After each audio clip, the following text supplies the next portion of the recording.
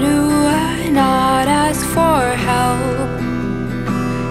I'm lost in my laundry pile begging for help What did you do with yourself? I'm tired and hungry, I'm so overwhelmed Fuck all that shit that you said I just pushing me right to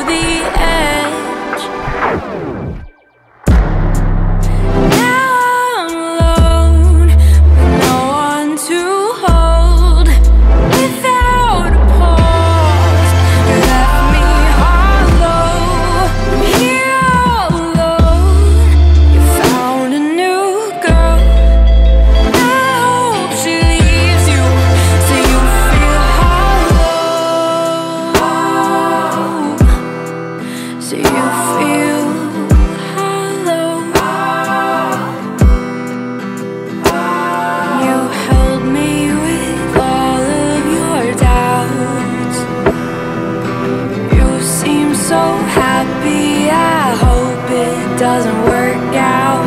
Fuck all that shit that you said.